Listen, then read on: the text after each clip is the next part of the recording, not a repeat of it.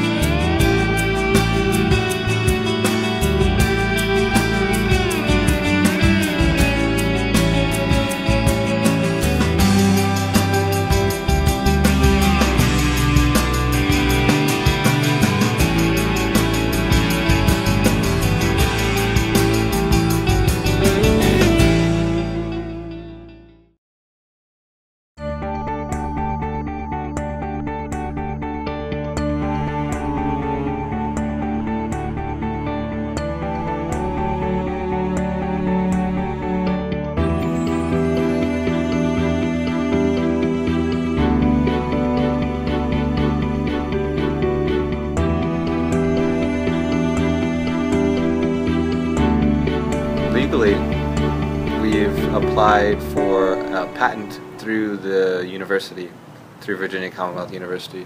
We've applied for a provisional patent.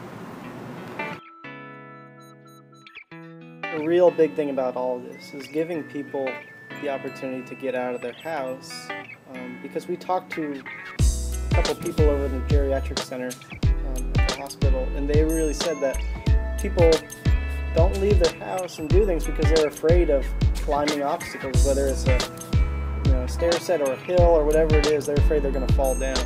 And by having something like this, it really gives those people confidence to walk out